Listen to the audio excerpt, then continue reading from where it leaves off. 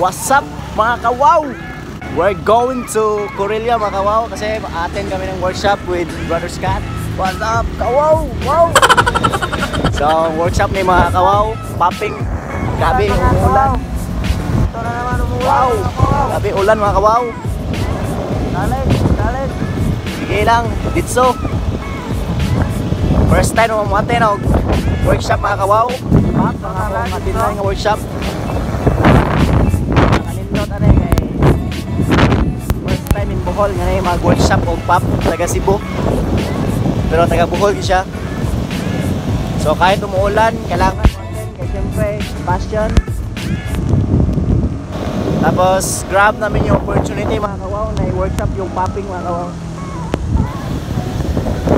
Samot na si Brad Scott kay ahang tinra yun. So happy na mag-start, 2.30. So it's already 2.30. So late na may. Brochure ball ko pa ito nasugod kay Pinoy man. Iba na ka Pinoy on time. Bro, we are here now in Sambulsa. Sambog, oh, Sambog, Corelia. So, few minutes from now, uh, makabot namin dito mga ka-wow. After mi kuwan sa Corelia, Sambog. Wow! Ouch!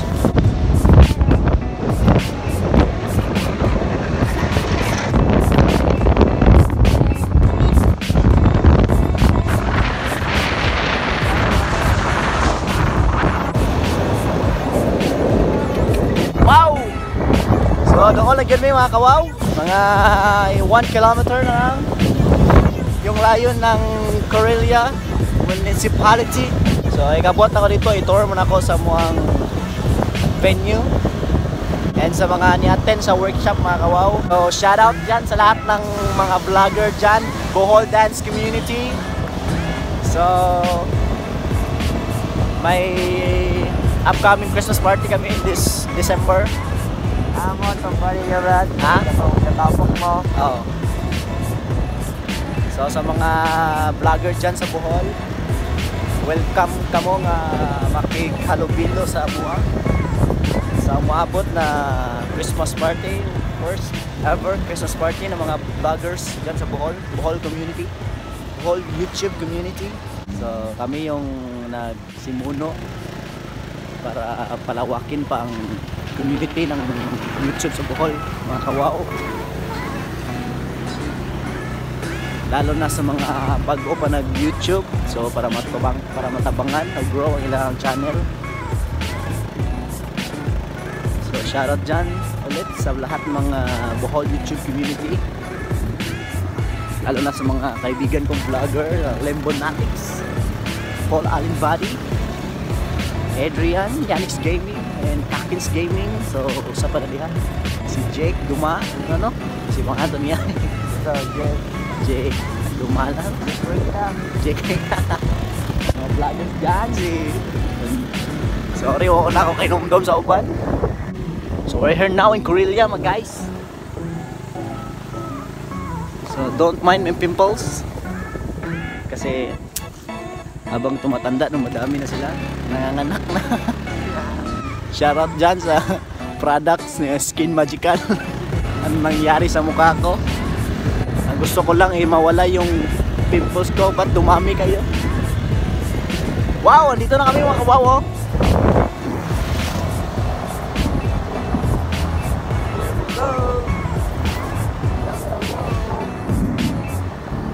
We are here now in Korea. Gym, where's the gym? Saan ang gym ano? Where's the Korea gym dre guys?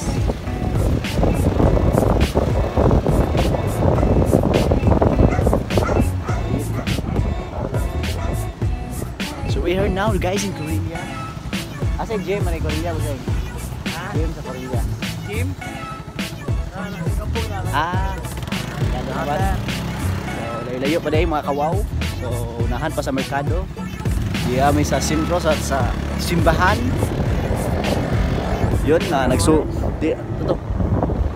Sugo na sila mga kawaw. Dahil ako, sugo na gid sila. Okay, it's ready to starting na.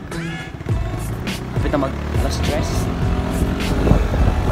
You know?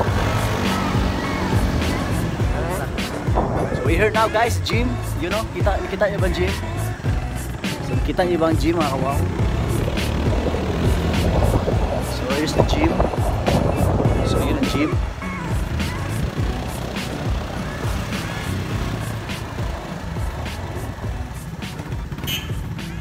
Start na sila mga kawaw.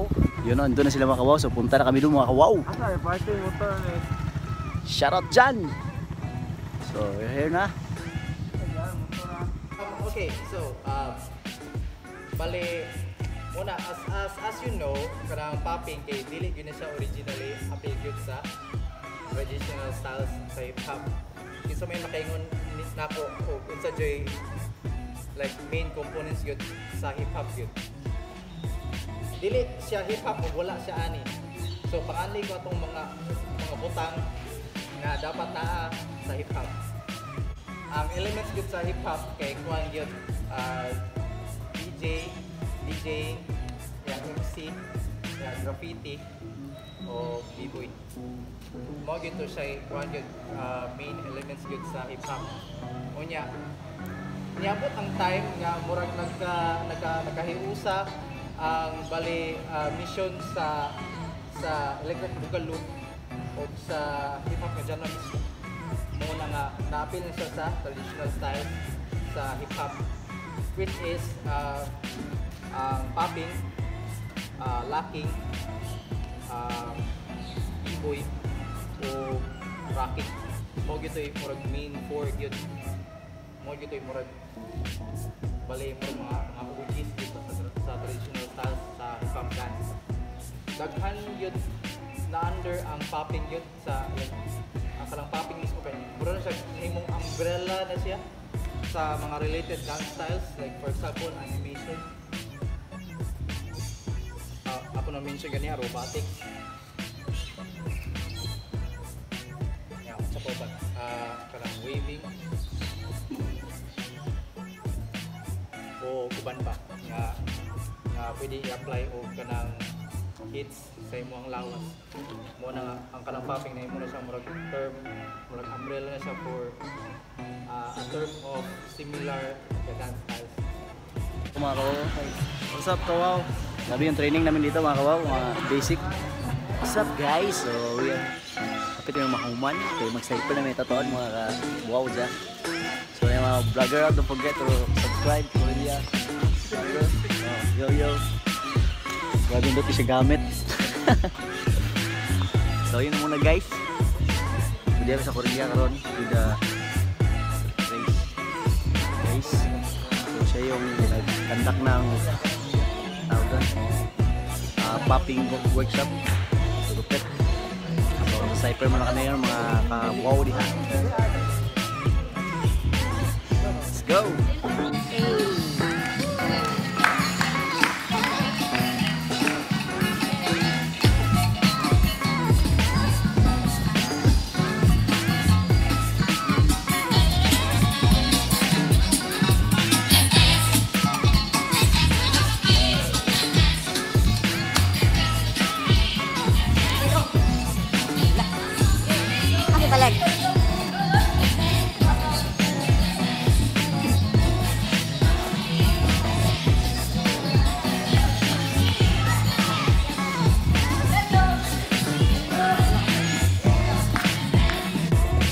Mga kawaw? So nakuha namig workshop sa popping mga kawaw. So nasa tanan, dagang salamat. So ay kalimot subscribe sa sa akong channel mga kawaw. Don't forget to like the button. Siyempre yung notification bell natin. So don't forget to press the notification bell kawaw. Ayun muna. Bye!